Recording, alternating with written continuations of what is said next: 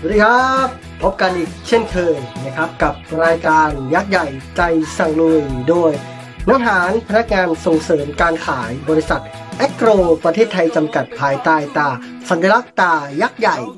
สำหรับเกษตรกรท่านไหนนะครับที่พบปัญหาเกี่ยวกับการระบาดของหนูในไร่ข้าวโพดที่มากัดกินฝักข้าวโพดนะครับ สบายใจได้เลยนะครับ เพราะว่าวันนี้น้องหานมีสินค้าที่จะมาแนะนำ ให้ฟังนะครับ สินค้าที่แนะนำในวันนี้นั่นก็คือโกรเมด50 ชื่อสามัญเฟโทเอ50% EC อยู่ในกลุ่มสารอโคโนฟอสเฟตและอยู่ในกลุ่มสารกำจัดแมลงกลุ่ม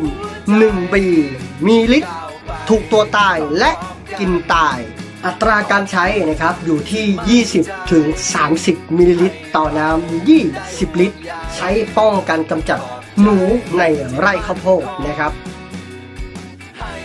ข้อดีของโกรเมท50 นะครับ มีกลิ่นแรง กลิ่นฉุนสามารถไล่หนูได้เป็นอย่างดี ช่วงสุดท้ายของคลิปนี้แล้วนะครับ ก่อนจะ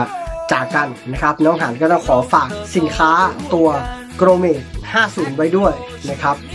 เมื่อมีการระบาดของหนูเกิดขึ้นเมื่อไหร่ในไร่ข้าวโพดนะครับ อย่าลืมนึกถึงตัวโกเมด50 เท่านั้นพบกันใหม่โอกาสหน้านะครับ สวัสดีครับ